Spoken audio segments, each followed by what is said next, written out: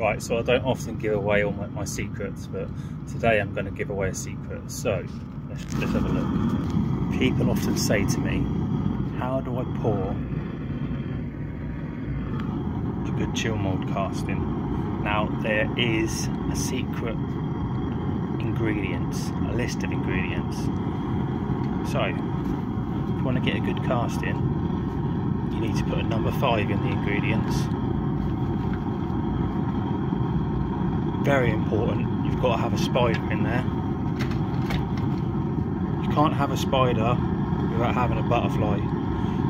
pH levels too too off. Got to get a butterfly in there. That levels out the pH, and then the, all in, you've got to get a cuckoo in there. So you've got to get your cuckoo in there. So spider, number five, butterfly and a cuckoo. Get them all in there. Mix it up a bit. It's important you mix it up. Add a pinch of salt.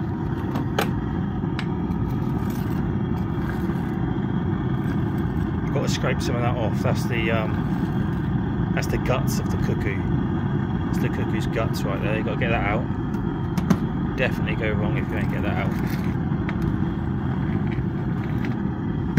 There it is, we give it a little mix up. Make sure the spider gets mixed in. Get some lead there. Just uh,